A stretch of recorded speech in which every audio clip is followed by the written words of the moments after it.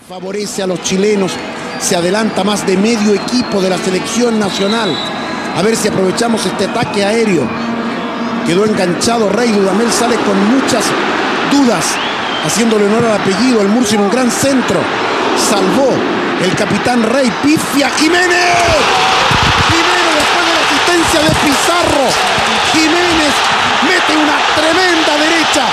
El chico de 20 años desde 12 metros. Le pegó como pudo Pizarro. Le salió pase a Jiménez. Y por fin el gol que estábamos esperando. Chile 1, Venezuela 0.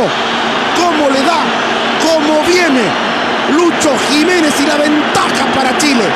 El gol que puede destapar al equipo. El gol que puede abrir el camino al juego. Ahí viene el centro, el cabezazo, vean. Esto tiró al arco, salió pase. No importa para Jiménez. Tiene una gran pegada. ¿Cuántos goles hizo en la temporada? Hice 10 en Liga y 12 en Copa. Hice 12 goles en la Terrana, un equipo chico. Gran figura. El desestimado anteriormente, justificando plenamente su llamado.